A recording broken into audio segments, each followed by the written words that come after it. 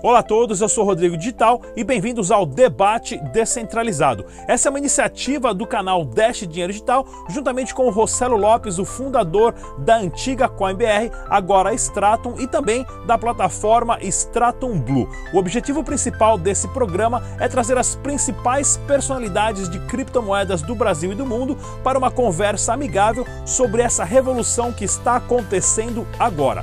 Deixe também nos comentários qual tipo de tema você gostaria de estar assistindo aqui no Debate Descentralizado e não se esqueça de curtir e compartilhar nossos vídeos. Mais uma vez, bem-vindo ao Debate Descentralizado. Vamos lá então, pessoal, voltando aqui na parte número 2, né, do nosso debate descentralizado. Uh, vamos falar aqui um pouquinho sobre o ano de 2020, que está aí já beirando a esquina que será o ano das criptomoedas do banco dos bancos centrais, né? Já tem vários anúncios ou pré-anúncios aí, digamos, de China, Estados Unidos e União Europeia. Ah, nós já temos o El Petro lá do camarada Maduro, firme e forte lá, lastreado com petróleo, né? Sabe lá isso se é verdade ou não. Porém, vai começar essa guerra agora dos bancos centrais porque assim, a regulamentação do Bitcoin, que é um, uma criptomoeda descentralizada, ela é nada mais nada menos do que uma forma de controle né, do, do, da forma final que o governo vai tentar ter sobre o controle das finanças, a não ser que ele lance a sua própria criptomoeda, que o ano de 2020 vai acontecer isso. Fala um pouquinho pra gente como vocês estão vendo essas visões, principalmente essa última semana agora que o Irã passou por sanções fortes dos Estados Unidos e aconteceu várias passeatas, vários protestos, e a população acabou tacando fogo no Banco Central devido ao aumento de gasolina que aconteceu no Irã, sendo que o Irã é, é, é autossustentável com o petróleo e foi um abuso do governo e a população acordou e atacou o lugar principal que é o Banco Central e tacou fogo em tudo lá. Como é que vocês estão vendo esse ponto de vista? Vamos começar com o Elker Carlos do Rei do Coin. Cara, eu primeiro que eu tô vendo com muita felicidade. Porque quanto mais problemas com os bancos centrais as pessoas tiverem, mais olhos elas terão para cripto, que não tem o Banco Central. E segundo, que a partir do momento que eu vejo que um governo, seja ele pequeno ou grande, passa a emitir uma moeda que é digital, que é de fácil troca pelas criptomoedas, eles estão abrindo um caminho, na minha opinião, estão abrindo um caminho para que a pessoa conheça o criptomercado. Porque muita gente hoje acha que o Bitcoin é a moeda digital ou virtual na esperança de que o dinheiro dela seja real. A partir do momento que ela vê que o dinheiro que ela tem hoje na carteira, no banco, não é um dinheiro real, não é um dinheiro diferente do Bitcoin, eu acho que abre possibilidades e dá para ver que está abrindo por, pelo que está acontecendo da reação dos populares em diversos países. Quando o Banco Central tá fazendo merda, a galera tá botando a mão na massa, tá indo para cima e tá discutindo novas formas de fazer as coisas. Então, acho que é, que é bem interessante, sim, as novas moedas. E acho que sim, em 2020 vai aparecer aí no mínimo duas ou três oficialmente. É, o interessante que a gente vê também, porque assim, está acontecendo vários protestos, começando com Hong Kong, se eu não me engano, está no quinto ou no sexto mês.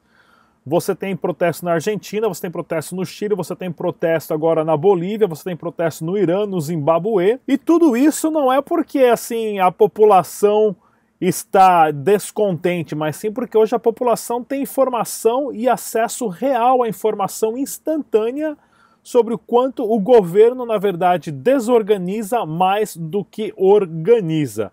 Então é um, é um momento de fúria das nações contra vários sistemas de governo. Voltando para nossa pergunta lá, João Lira, do Cointelegraph. Eu, eu, vejo, eu vejo com bons olhos essa, por mais por incrível que pareça, é, é interessante as, os governos pensarem em criptomoedas. Eu acho que o Brasil deveria ter, fazer isso urgente. Eu tenho estudado muito mais que, que debate em bancos. Eu, eu acho que as criptomoedas têm um impacto de influenciar a economia digital. A economia digital hoje está em torno de 7 trilhões e meio de dólares. Né? É maior. Se fosse uma economia, se fosse um, um país, a economia digital estaria entre os cinco maiores países, economias do mundo. Né? Só a Califórnia está entre as cinco maiores economias do mundo, onde está o Vale do Silício. E a ONU agora publicou um relatório muito interessante de colonização digital. Né? Então ela fala que 90% dessa economia está na China e está na Califórnia. Então, nós aqui usamos, quando a gente publica esse vídeo no YouTube, é, a gente está dando dinheiro para a Califórnia, para o Google. Né?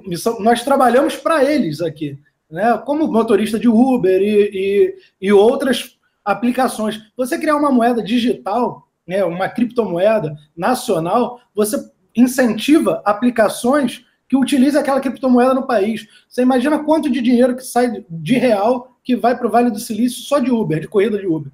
25% de todo mundo é, diariamente. Imagina um, governo incentivar uma criptomoeda onde esse pagamento fique por aqui mesmo. Né? É, em vez de depender de cartões de crédito e essas outras coisas.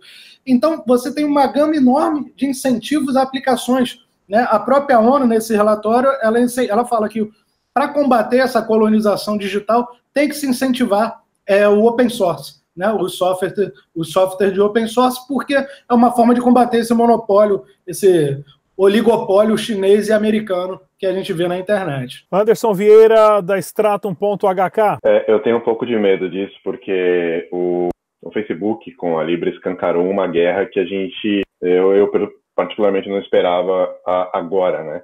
Que é alguém pensou, bom, o dólar domina o mundo, tudo é dólar, tudo baseado em dólar, e mas tem um negócio novo chamado criptomoeda aí que tem uma chamada Bitcoin, que é a maior e que todo mundo usa. E se eu for a maior? E se eu for a criptomoeda maior? E se a minha criptomoeda do meu banco central for a maior e utilizada por todo mundo? Né? E aí a gente volta 10 casos na, na, na vida de criptomoeda se isso acontecer. Né? É, eu tinha muito medo e no, quando saiu a, a, a, proposta da Libra, tudo, e depois que as pessoas foram entendendo o que acontecia, eu não sei se foi uma é, se foi alguém do projeto que disse, olha, a nossa expectativa era, era ser a, a, a primeira criptomoeda a mais usada, a que todo mundo vá é, é, é utilizar. O próprio governo americano falou, opa, é, poder para isso eles têm, né? Dinheiro, talvez lobby, talvez coisas. Eles pelo menos vão mexer, vão começar a fazer as pessoas olharem de uma outra maneira, né? Isso, isso me dá um pouquinho de medo para 2020 de saber que os bancos centrais estão é, é, é, correndo atrás de ter a sua própria moeda, se for é, num, num, num, viés pacífico, né, de ser mais uma criptomoeda para ajudar no ecossistema, eu concordo, mas eu acho que vai vir aí é uma imposição, né? É, olha, você só pode usar criptomoeda no Brasil se for a criptomoeda do Banco Central brasileiro, né? Não pode utilizar outra eu fico bastante medo disso, né? De voltar a uma centralização e aí uma centralização usando criptomoeda, né? É, claro, eu, eu, concordo que eu acho, na verdade, que o Bitcoin é muito maior do que isso. É, a força dele e a força das pessoas que estão utilizando e, e conhecem é, é, pode fazer com que essa guerra se equilibre um pouquinho. Mas vamos tomar uma, uma porrada se acontecer de um grande banco central ou se de uma grande empresa é, é, começar a fomentar demais a sua própria criptomoeda. Tenho medo disso. Olha, eu, eu no Brasil estou esperançoso, principalmente depois da, da última notícia que eu recebi algumas semanas atrás, que nós temos um, um, um cara aí que é, digamos, da escola economia, pensamento da escola austríaca de economia, né? Uh, um maximalista de Bitcoin que está trabalhando na Casa da Moeda agora. Então, isso aqui foi uma notícia bem legal, assim, que eu fiquei bem esperançoso. Vamos começar agora com o, Rodrigo Ventura da 88.i. Vamos lá. É, bom, 88i.i, vou... ó, desculpa. Isso, maravilha. É, é, eu vou continuar o papo do Libra aqui, né? E vou dar um furo de reportagem para vocês. É, o, embora no Congresso americano o pessoal fale que pode ser que jamais venha ao ar, né, que putz, não sabe o que vai acontecer e a briga está intensa, é, o Facebook é, escolheu a Suíça para colocar o, a Colibra, né, estabelecido em Genebra por causa da ONU, é, e, e, os advogados deles lá são os mesmos que a gente tem na Suíça, então a gente começa a saber algumas coisinhas que estão acontecendo. É, mas o fato é que esses caras, os engenheiros do Libra, estão trabalhando ali 24 por 7, no ritmo só passando a, a pizza por debaixo da porta, né, para não sair da sala e não parar de trabalhar. é, e, e uh, um dos, dos cofundadores do Libra, que é o, o CDL, CDL Creative Destruction Lab, é, esses caras estão é, abduzindo aí os cérebros do mundo e chamando startups é, de blockchain e inteligência artificial para construir soluções no mundo real junto com Libra. E aí é, a 88 participou de um bootcamp que aconteceu em Toronto, chamaram a gente para ir para lá, justamente que a gente está falando de seguros com cripto, né? E, e aí a gente foi para lá para ver o, o, como a gente poderia fazer seguro pagando com Libra, né? E, e smart contracts, etc. O poder dos caras é o seguinte: no dia 1 você tem 2,5 bilhões de pessoas conectadas. Então, estamos falando de um terço da população do planeta conectado no dia 1 e com todas as soluções conectadas no mundo real ao mesmo tempo. E os caras estão pegando essas empresas no mundo inteiro e, e, já desenvolvendo solução para quando entrar no ar, já entra conectado com tudo quanto é produto e serviço. Imagina o tamanho do impacto disso. É massivo. É, é assim, eles têm a capacidade de dar adoção massiva que o Bitcoin está levando aí 10 anos para crescer e chegar no que é hoje ainda é super pequeno. Você imagina se de um dia para o outro ele vira a chave e tem um terço do planeta. Você abala a soberania nacional, né?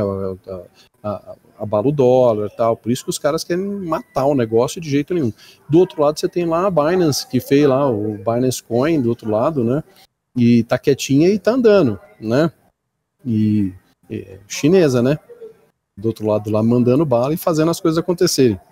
Então, vai ser interessante ver essa guerra aí entre países, Estados Unidos versus China, que já está né, balançando de um lado para o outro.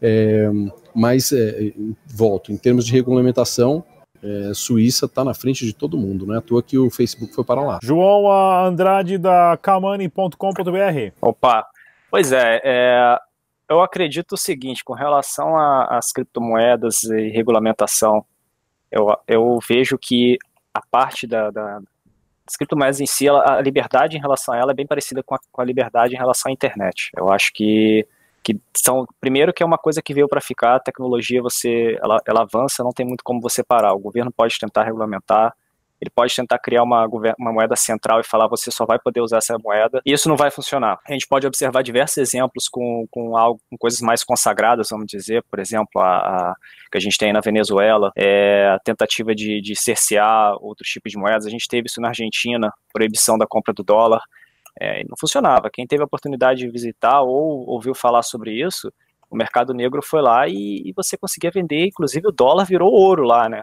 É, nesses lugares, né? E hoje é, a Venezuela utiliza muito das criptomoedas para poder dar é, sustentar mesmo as pessoas. Né? O povo é, vê a criptomoeda como uma forma de fugir da pobreza. Então, é, a gente enxerga que não é possível regulamentar de uma forma é, exata, específica e falar, ok, vamos é, garantir que, que só uma moeda seja utilizada.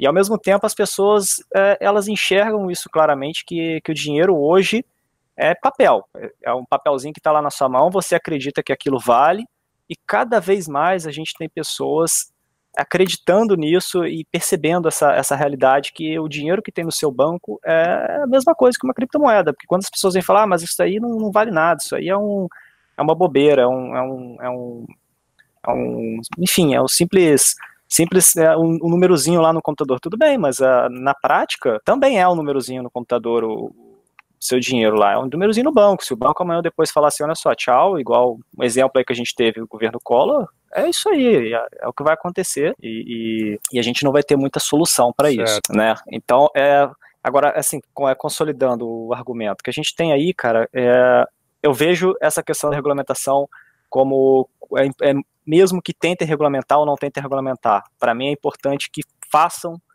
alguma coisa, que, que não fique parado, que não fique sem falar, sabe? Aquele falem bem, falem mal, mas falem de mim.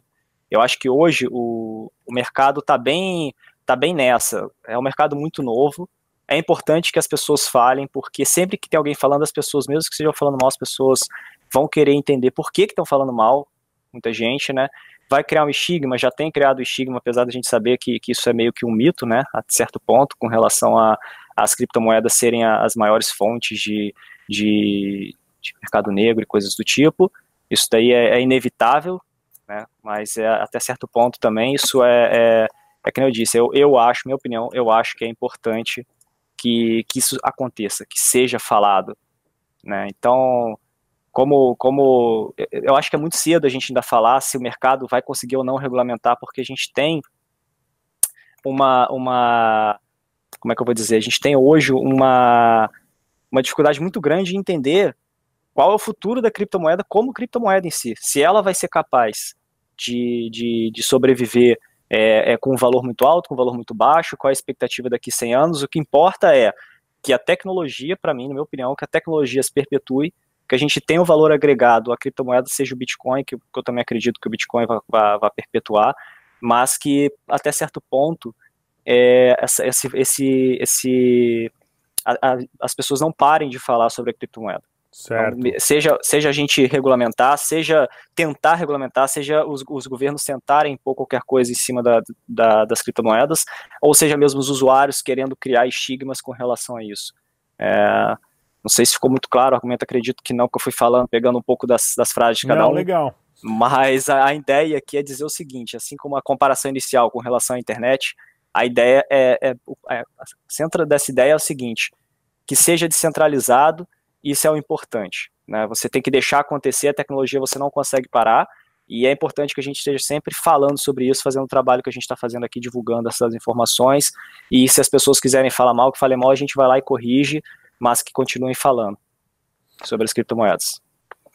Anderson Vieira, da Stratum.hk. E, e assim, até pegando o que todo mundo falou, é, fazendo um, um, fazendo uma, uma, uma introspecção aqui, é que nós criamos um monstro, né? Assim, é, é, o Facebook, ele se, se acontecer isso que o Rodrigo vai acontecer, né? é, que o Rodrigo falou, é, nós voltamos a, a, ter uma moeda centralizada, né? É, e a gente vai ter que confiar no Google, né? É, vira a chavinha ali, 2,5 bilhões, né, Rodrigo? De pessoas ali utilizando goela abaixo né? Porque se você quiser continuar utilizando os produtos Facebook, bem provavelmente você vai ter, vai estar esbarrando no Libra ali ou, ou, ou em todas as suas, a, a, os seus parceiros, né? Enfim, Face, Instagram é, e WhatsApp. Não, fora, é, é fora se, é, se, ah, esse movimento que você falou que na Suíça era esperado, né? Já que, né?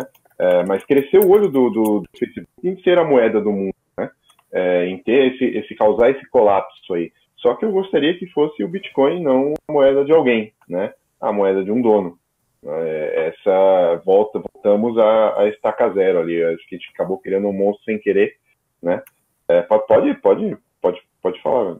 É porque o Facebook ele já vem, né? Como o Rodrigo falou, ele já vem com um pacote inteiro de serviços, né? Sim. O Bitcoin, a comunidade foi criando a utilidade dele. Né? O Facebook se criar uma moeda, ela já tem utilidade natural, né? Então é mais fácil a adesão. Né? Você já tem empresas cadastradas, já tem tudo ali, né? as pessoas, já tem a rede mesmo né? formada. Né? E, a, e as pessoas hoje já estão acostumadas a usarem alguma coisa e não saberem nem de, de quem é ou de para onde aquilo está indo, né?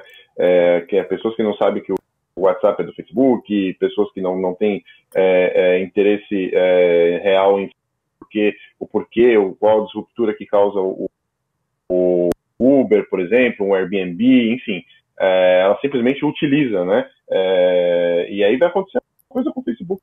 Né? As pessoas vão continuar utilizando, vão usar aquilo como dinheiro, ou Libra como dinheiro, e novamente vão ficar ali, se tornar, continuar sendo um escravo é, de um poder que, que não está na mão dele, né? O Bitcoin, com o Bitcoin eu me sinto, eu me sinto poderoso. Eu sei que ali é o meu é o meu, é o meu valor, a minha reserva de valor que eu carrego comigo e, e não presto conta dela para ninguém, né? É, independente se o mundo acabe, está ali comigo e aquilo é meu, né? E o Libra não vai ser bem assim, né? apesar de toda né, a parafernália tecnológica, a, a inteligência artificial, no final tem um dono, né? E aquele dono pode ligar, desligar a chavinha, colocar pessoas para dentro ou para fora daquela, daquela economia, como é feito com dinheiro hoje.